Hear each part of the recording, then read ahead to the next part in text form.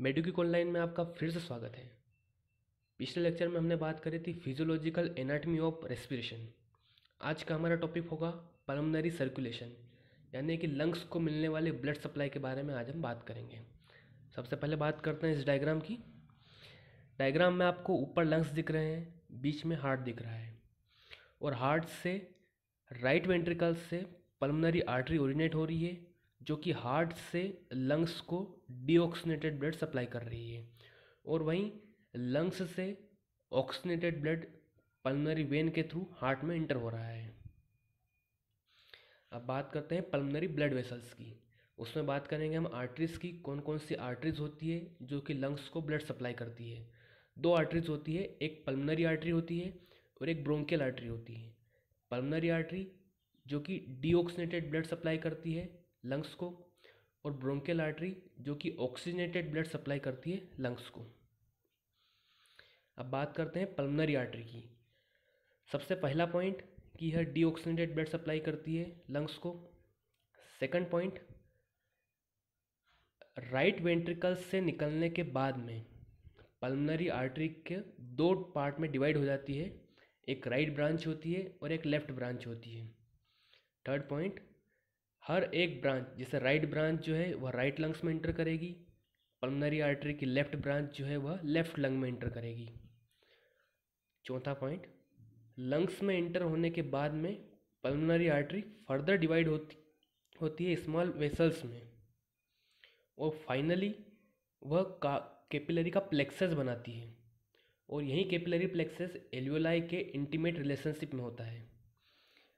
Fifth point और इसी capillary plexus से एल्यूलर गैस एक्सचेंज होती है। अब बात कर, करते हैं ब्रोंकियल आर्टरी की। तो सबसे पहले यह कहाँ से ओरिजिनेट होती है? तो यह डिसेंडिंग थोरेसिक एओटा से अराइज होती है। उसके बाद में हमने एक पॉइंट पढ़ चुके थे कि यह ऑक्सीनेटेड ब्लड सप्लाई करती है लंग्स को। अब सेकंड पॉइंट यह कौन कौन से पोर्शन को सप्लाई करती है? तो यह ब्रोंकाई को सप्लाई करती है।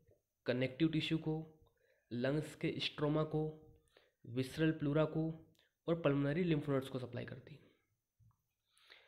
अब पल्मनरी ब्लड फ्लो के बारे में अगर बात करें तो चूँकि हम जानते हैं कि हार्ट से राइट वेंट्रिकल हो या लेफ़्ट वेंट्रिकल हो, दोनों से पाँच लीटर ब्लड जो है वो बाहर निकलता है। और हमने बात करी कि राइट वेंट्रिकल से जो ब्लड निकलता है, वह सिर्फ़ लंग्स में इंटर होता है। यानी कि पल्मनरी ब्लड फ्लो की अगर बात करें तो वह फाइव लीटर होगा। अब पल्मोनरी ब्लड प्रेशर की बात करते हैं। सबसे पहले बात करते हैं ब्लड प्रेशर की। ब्लड प्रेशर क्या होता है? ब्लड प्रेशर वह प्रेशर होता है जो ब्लड एग्जर्ट करता है उसकी ब्लड वेसल्स को। यानी कि ब्लड के द्वारा अप्लाई किया गया प्रेशर ब्लड वेसल्स पे उसको बोलते हैं blood pressure pulmonary blood pressure की अगर बात करें क्योंकि पल्मनरी ब्लड वेसल्स जो होती है, वो बहुत डिस्टेंसिबल होती है। इसीलिए जो ब्लड प्रेशर रहेगा पल्मनरी ब्लड प्रेशर उसकी वैल्यू बहुत कम होती है। सिस्टोलिक प्रेशर यानी जब हार्ट जब सिस्टोल करता है, तब ब्लड कितना प्रेशर एग्जर्ट करता है, उसकी आर्टरी पे। तो वह होता है सिस्टोलिक प्रेशर तो सिस्टोलिक प्रेशर की वैल्यू होती है ट्वेंटी फाइव एम और डायस्टोलिक प्रेशर यानी कि ब्लड जब रिलैक्स होता है, उस कंडीशन में ब्लड कितना फोर्स एग्जर्ट करता है उसकी वेसल्स पे, उसको डायस्टोलिक प्रेशर कहते हैं। इसकी वैल्यू टेन एम एम होती है। और पलमनरी कैपिलरी प्रेशर यानी कि ब्लड के द्वारा एग्जर्ट किया गया प्रेशर उसकी कैपिलरीज पे तो उसकी वैल्यू सेवन एम एम होती है। यानी कि सात एम एम जी जो कि सफिशेंट होता है गैसेस एक्सचेंज के लिए। अब regulation of pulmonary blood flow की अगर बात करते हैं। तो सबसे पहला है कार्डियक आउटपुट सेकंड नंबर पे है vascular resistance third nervous factor fourth chemical factor and fifth gravity first बात करते हैं कार्डियक आउटपुट की। So pulmonary blood flow is directly proportional to cardiac output यानी कि जितना कार्डियक आउटपुट होगा, उतना ही पल्मनरी ब्लड फ्लो होगा। क्योंकि हमने बात करी थी कि राइट वेंट्रिकल से निकलने वाला सारा ब्लड जो है वो लंग्स में जाता है। इसलिए जितना कार्डियक आउटपुट होगा, उतना पल्मनरी ब्लड फ्लो होगा। और कार्डियक आउटपुट जो कि खुद चार चीज़ों पर डिपेंड करता है वीनस रिटर्न यानी कि पूरी बॉडी से जो डीऑक्सीनेटेड ब्लड आया, वह कितना हार्ट में गया, उस पर डिपेंड करता है। सेकेंड फोर्स ऑफ़ कॉन्ट्रेक्शन कितने फोर्स से हार्ट कॉन्ट्रैक्ट हुआ है, वो होता है फोर्स ऑफ़ कॉन्ट्रैक्शन ज़्यादा रहेगा फोर्स ऑफ़ कॉन्ट्रैक्शन तो कार्डिक आउटपुट भी ज़्यादा मिलेगा। थर्ड है रेट ऑफ़ कॉन्ट्रैक्शन अगर कॉन्ट्रैक्शन का रेट ज़्यादा हुआ तो सीधी सी बात है कार्डिक आउटपुट भी ज़्यादा ही रहेगा। और पेरिफेरल रेजिस्टेंस। पेरिफेरल रेजिस्टेंस यानी कि अगर वेसल्स में रेजिस्टेंस अगर ज़्यादा है, यानी कि वो ब्लड के फ्लो को आने नहीं देंगे, इसलिए पेरिफेरल रेजिस्टेंस जितना ज़्यादा होगा, उतना ब्लड फ्लो कम होगा। डिटेल में बात करते हैं वास्कुलर रेजिस्टेंस की।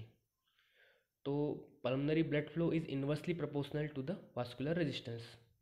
ये अभी हमने बात करी। और during the condition like exercise जैसे अगर हम एक्सरसाइज करते हैं तो उस कंडीशन में वास्कुलर रेजिस्टेंस कम हो जाता है। वास्कुलर रेजिस्टेंस अगर कम होगा तो ब्लड फ्लो जो है वो बढ़ जाएगा।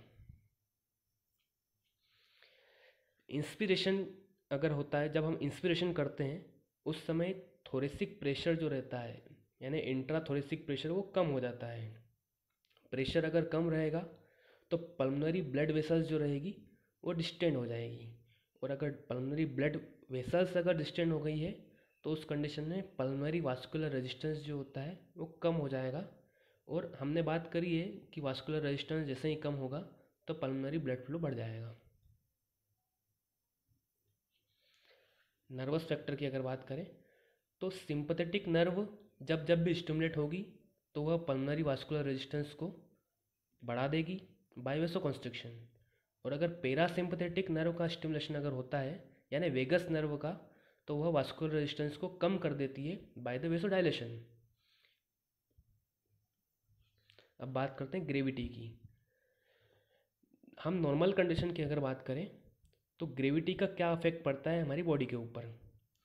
So due to effect of gravity normally in standing position blood pressure in the lower extremity of the body is very high and in the upper part above the level of the heart the blood pressure is low यानी कि हम standing position में हैं तो हमारे जो lower extremities है, उसमें ब्लड प्रेशर ज़्यादा होगा।